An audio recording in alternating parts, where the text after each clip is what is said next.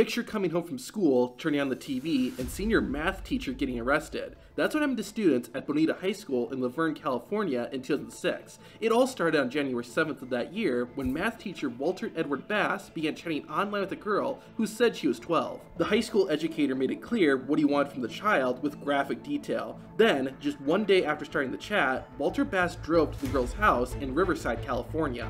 While it wasn't seen on TV, Walter actually sat in his car for a while after arriving at the house, as if he was deciding if he was going to go through with it. Babst ultimately decided to pull his wedding ring off, slide it into his pocket, and go inside the home. He soon found out there was no 12 year old girl, and instead, it was an investigation being run by Dateline NBC. While being questioned by the host, Chris Hansen, the realization of what was about to happen to Walter's life set in.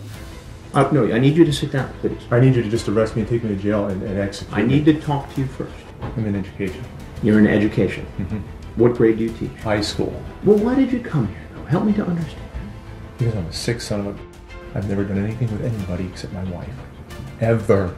After leaving the house, the math teacher was arrested by the police. Once in custody, Babst used his right to remain silent and didn't speak to detectives. He faced two felony charges and a $25,000 bond, which he paid. This happened on a Saturday, and just two days later, Walter Babst returned to the classroom on Monday morning. The footage from To Catch a Predator wouldn't air for a few weeks, and nobody had contacted the school to tell about Walter Babst's arrest. Because of this, Walter ended up teaching for an entire week after getting caught. In fact, it wasn't until Walter's own lawyer contacted the school on January 13th, 2006, that school officials found out. However, police would reach out not long after. Dateline NBC interviewed some of Walter Babst's students who made some alarming claims.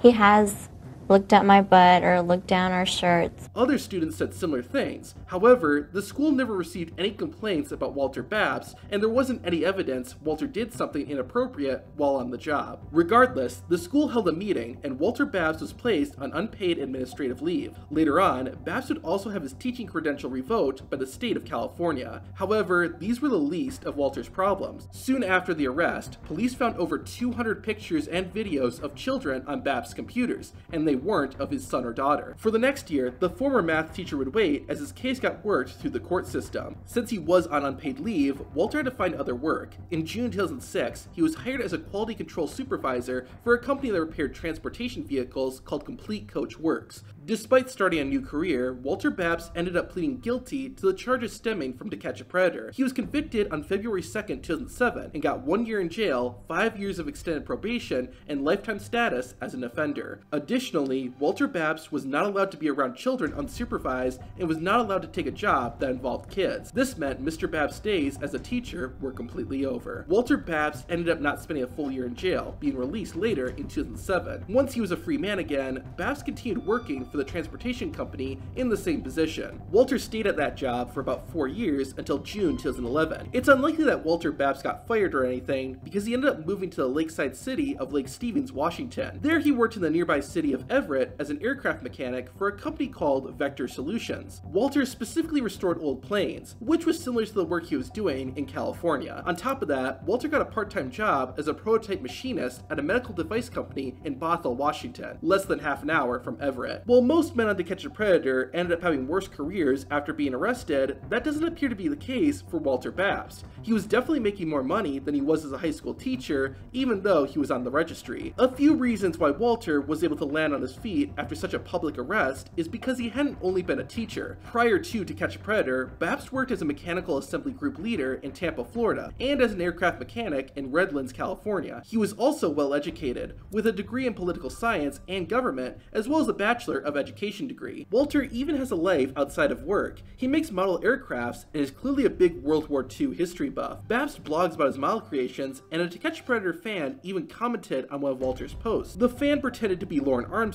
another infamous man caught on TCAP, but Walter didn't seem to catch on. In February 2018, Walter moved back to Riverside, California, and returned to his previous employer, Complete Coach Works. He still works there today as a manager. As for Walter Babst's personal life, looking through all the public records show that his wife stayed with them through everything, and they're still married today. Walter's son and daughter are in their 20s now, and not much is known about his relationship with them. But considering he's still with his wife, I assume Babst remains close with his children. Walter Babst was able to turn his life around after To Catch a Predator. Jeff Stacy, on the other hand, tried, but ultimately couldn't. Watch this video to see what happened to the Mickey Mouse Predator.